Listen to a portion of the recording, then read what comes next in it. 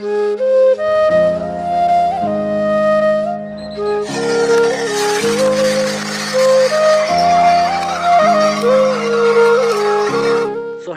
welcome back to my channel so आजको blog चाहिँ start गर्नुभन्दा अगाडि अलिकति दुःखको खबर पनि छ। किनभने तपाईँहरूले नेपालको इन्सिडेन्ट सुनिसक्नु भएको होला जहाँ प्लेन क्रेस भएको थियो होइन त्यो। त सबैजनाको आत्माले शान्ति पाओस्। यही हो गाइस मेडियर सोल स्टेन पिस होइन। र गाइस आज चाहिँ म कहाँ जाँदैछु भन्दाखेरि अस्ति जुन इन्ट्रो सुट गरेको थिएँ न साथीको त्यो भिडियो सुट भयो भएर अनि मलाई एडिट सिडिट सबै गर्नु मलाई दिएको थियो। सो त्यो सबै कम्प्लिट भइसक्यो एडिटेड भइसक्यो होइन भिडियोहरू।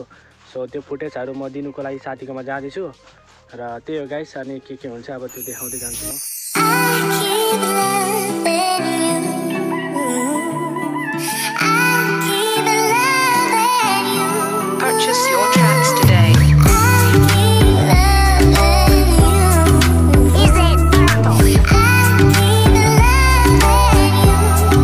सो गाइस हामी त आइपुग्यौँ लोकेसनमा होइन तर खोइ साथी नै आइपुगेको छैन धोका भयो धोका भन्नु अरे सो खोइ साथी आउँछु आउँछु भन्दैछ आएकै छैन सो हामी वेट गरिरहेछौँ अहिले अब के हुन्छ हेरौँ